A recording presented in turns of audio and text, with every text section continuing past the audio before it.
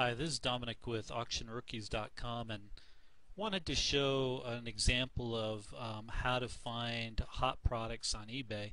A lot of people are asking that question. One tool I like to use quite a bit is Terapeak. Terapeak is great for finding hot products. They make it really easy. So after you log in, you see a spot here called Research Hot Products, and if you click on that, it immediately takes you to the hot products list. As you can see, the keywords here are the curve 8330, um, new, unopened. This is a category name. Sell-through rate is 100%. So every time someone posts one, it gets sold. Average price is 282. Items sold is 85. So you can dig down a lot more information on just this one item and say you click on it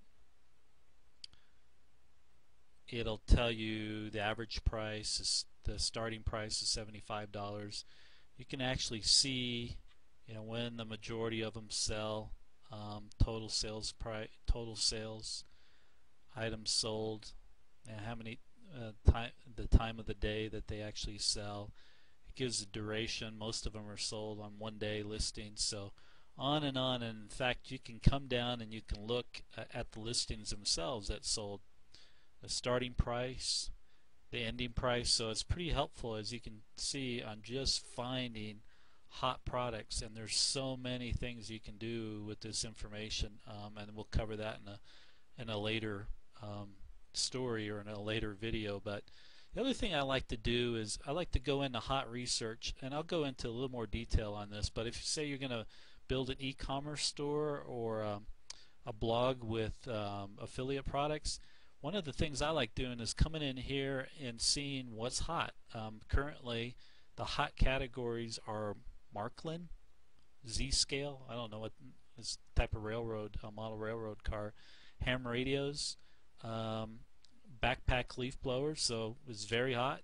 So, you know, what you could do is come in here and, and um, you know, build, uh, get an idea of what's selling in the backpack, backpack leaf blowers you can get an idea of what's selling and then build yourself a e-commerce store using something like Datafeedr or PHP Bay um, which will put eBay listings in a WordPress blog for you. So as you can see backpack leaf blowers are pretty high as far as the um, the uh, hotness of it. So build yourself a Datafeedr store and I'll put links to those but um, Datafeedr and or build a PHP Bay store.